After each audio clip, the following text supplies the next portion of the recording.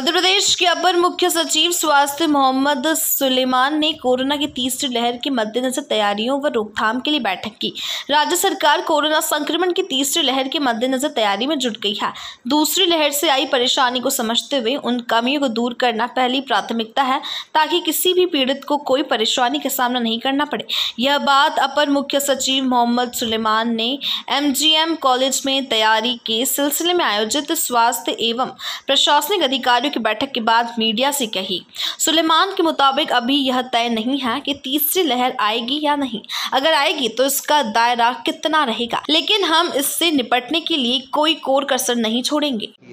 इससे पहले भी पूर्व में भी तीसरी लहर की आशंका को लेकर समीक्षा कर क्या कुछ आज की बैठक में रहा है नहीं मेरा आज की बैठक में हमारे डीन साहब के साथ समीक्षा का एजेंडा थोड़ा डिफरेंट था। आज हम लोग जो मेडिकल कॉलेज की व्यवस्थाएँ हैं, उसमें इसको मेडिकल कॉलेज को एक प्रेस्टिजियस इंस्टीट्यूशन बनाने के लिए क्या कर सकते हैं, मूलतः उस मुद्दों पे बात कर रहे थे। जैसे सुपर स्पेशलिटी हॉस्पिटल अब बन गया है, उसको किस तरह से चालू किया जाए ताकि इंदौर के लोगों को उसका लाभ मिले। ऐसा आई का हमारा एक सेंटर बन रहा है, उसको हम लोग अक्टूबर में चालू करना चाहते हैं तो उसको क्या किया जा सकता है? भविष्य में यहाँ अगर ट्रॉमा सेंटर बनाना हो या कुछ और सुविधाएँ विकसित करनी हो तो आज बातचीत में मेडिकल कॉलेज की व्यवस्थाओं के सामान्य मुद्दों पे हम लोगों ने बातचीत करी। एक्सीलेंट एक्सीलेंट सेंटर को लेकर हम जो कर रहे हैं। वो बूस्टर डोज भी जो लगे वो कॉकटेल लगे कोविशील्ड लगा है तो तीसरा डोज ये बहुत टेक्निकल इशू है और ऑब्वियसली इस पर जो सही विचार है वो मेडिकल कम्युनिटी से ही आते हैं। और अल्टीमेटली ये होता है कि जब Indian Council of Medical Research ICMR जब कोई बात कहता है तो सरकार उसको मानती है। अभी आईसीएमआर ने ऐसा कोई विचार व्यक्त नहीं किया है। जब उनसे हमको सुनने में मिलेगा तो हम उसका पालन करें सर डॉक्टर मनोबल बढ़ाने की बात आपने की कि डॉक्टर को में चालू होना उसको? सुपर स्पेशलिटी अस्पताल बन के तैयार हो गया था लेकिन उस समय कोविड में उसकी रिक्वायरमेंट ज़्यादा थी। तो उस हॉस्पिटल का उपयोग कोविड के इलाज के लिए किया जाने लगा। अब जैसे अभी उसमें खाली एक मरीज़ भर्ती है तो ऑब्वियसली अब ज़रूरत इस बात की है कि चूँकि उसको सुपर स्पेशलिटी अस्पताल के रूप में विकसित किया गया है तो जो विधाएँ वहाँ होती हैं सुपर स्पेशलिटी की वो चालू किया जाए। तो उसके लिए बातचीत हुई है, अभी रिक्रूटमेंट शुरू हो गया है उसके लिए भी। मूल बात तो चिकित्सकों की उपलब्धता सुनिश्चित करनी है। कुछ इक्विपमेंट जो आने थे गवर्नमेंट ऑफ़ इंडिया से आ गए हैं, कुछ हमको और प्रोक्योर करने हैं। हम लोगों ने ये टारगेट रखा है कि उसको भी हम अक्टूबर माह में as a super speciality hospital चालू कर सकें। दूसरी लहर को लेकर पिछले दो दिन से बात किस तरह से प्रदेश स्तर की हमारी प्रमुखता क्या था? सरकार का पूरा प्रयास तीसरी लहर को आने से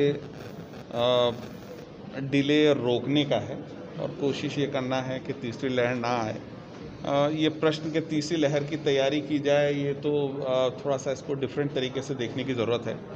हमारी कोशिश ये है कि अगर हम कोविड अप्रोप्रिएट बिहेवियर को लगातार पब्लिसाइज कर सकें और साथ में वैक्सीनेशन को इम्प्रूव कर सकें तो तीसरी लहर की संभावना कम हो जाएगी। केसेस अगर आएँगे भी तो उनको अस्पतालों में जाने की ज़रूरत कम पड़ेगी। आप लोग को पता है कि आंकड़े कहते हैं कि सिंगल डोज से भी बहुत प्रोटेक्शन मिलता है और डबल डोज के बाद तो 90 परसेंट केसेज 95 परसेंट केसेस को हॉस्पिटलाइज जान होने की ज़रूरत नहीं पड़ती है। इंदौर ने इस मामले में बहुत अच्छा काम किया है। जहाँ तक मेरी जानकारी है एलिजिबल पॉपुलेशन के बयासी परसेंट लोगों को कम से कम एक डोज तो लगी गई है और कोशिश हमारी ये है कि वैक्सीनेशन का काम पूरा हो जाए तो उससे जो लोग प्रभावित भी होंगे, उनको अस्पताल जाने की ज़रूरत नहीं होगी। तो सिंगल वेव के बारे में जहाँ तक मैं कहना चाहूँगा कि हमारा प्रयास ये है कि वेव आए ना आए, अस्पतालों पे इतना लोड ना बढ़े जितना सेकेंड वेव के टाइम पे था, क्योंकि डॉक्टर्स का मनोबल बनाए रखना हमारे लिए ज़रूरी है। लगातार काम करते में हर आदमी थकता है। तो कोशिश ये है कि अस्पतालों पे आने वाले प्रेशर को कम किया जाए। आईएमए कह रहा है कि उन्हें बूस्टर तीसरा डोज जो है उसकी ज़रूरत नहीं जो centre for excellence for eye है, वो करीबन 40 करोड़ की लागत से बन रहा है। बिल्डिंग लगभग उसकी 80 परसेंट बन चुकी है। कुछ इक्विपमेंट हैं जिनके प्रोक्योरमेंट का काम चल रहा है। उसके स्टाफ का रिक्रूटमेंट अभी डीन साहब ने शुरू कराया है।